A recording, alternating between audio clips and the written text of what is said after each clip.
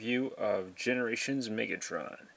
Generations Megatron, I really dig the look of him in robot mode. This is how he comes packaged, and um, unlike uh, Classics Megatron, which has the kibble on the back, you'll see that he doesn't really come with kibble on the back, though he comes packaged like this. And what you're really supposed to do is fold this up. What you get is some cool Gribbly Decepticon Cybertronian detail back there. His bio pretty much says that he's on the cutting edge of technology and his enemies will pay the price for not being on the edge of technology and not um, putting up a better fight than he can. Uh, it's a really posable toy, though his joints are kind of interesting. You kind of have to get used to them. Uh, his hands are in this maniacal little clasp to them. You can see that there. Really designed so that you can get the maniacal uh, Megatron poses that you really want. Oh yeah, that's so sweet. Uh, this shoulder blade panel back here, I'm not sure. It's like it's like a claw in its tank form, but up here it's just sort of from the game model, and you can adjust that however you want it. Though it really like seems to be designed to lock down like this just form up with the line like that. Panel moves up and down pretty easily. It's got its own double joint to it. And it's really cool that it's got these translucent purple pieces in it to give it the the glowing Tron-esque um, War for Cybertron effect. Uh, his feet are kind of mecha feet like. And if you're looking at these figures in package and you see the little black dot on top of your triangles, that's not a paint error. It's really just supposed to cut up off there, give it some extra sharpness. Almost wanted to have a torso joint, but since you can get the legs to do this, it's really unnecessary to have. And he has a good head joint. I mean, that's really alright. Let's fire on this cool little uh, energy tracking lights here and the blue thing. This whole red button basically fires the missile. See? It goes pretty far. It's a nice purple missile, giving you some dark energon effects. Most people leave it out so you can have the so you won't have little purple columns sticking out. A lot of collectors like the look of that. Oh yeah. Let's get on with it. Transformation is simple, but it's much like the much like the more recent animated designs. They're simple because they've been cut in an intuitive way. Uh, you have to remove the fusion cannon. Uh, one other thing that's neat is that the hands split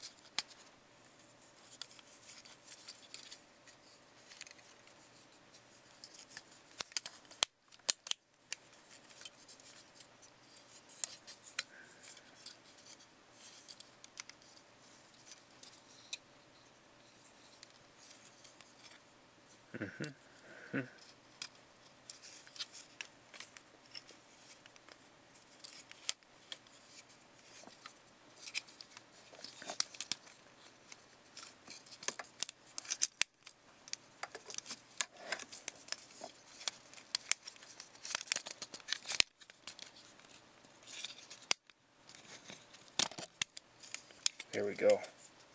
See, it's cut perfectly.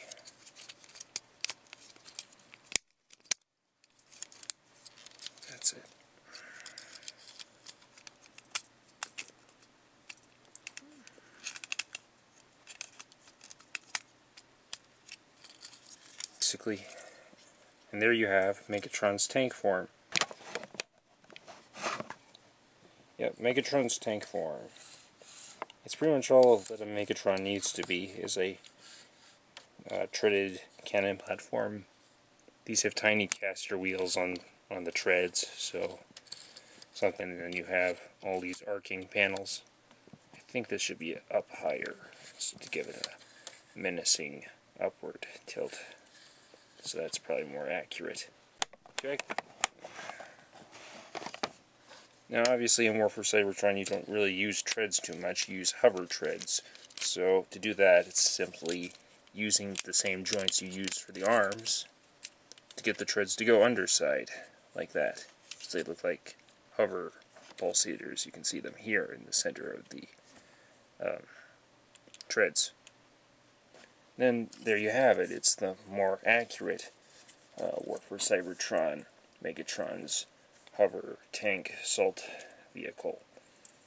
It's pretty good. It's got a great feeling plastic to it. Everything feels really solid. Um, I mean, the only thing that's really taking a lot of wear in this in this um, toy is going to be probably the hands, flipping them in and out, and the um, connection points for the cannon. But otherwise, a really great Megatron toy, and I'd say it's really close in size to the original G1 Megatron. Uh, let's transform it back, because I have time.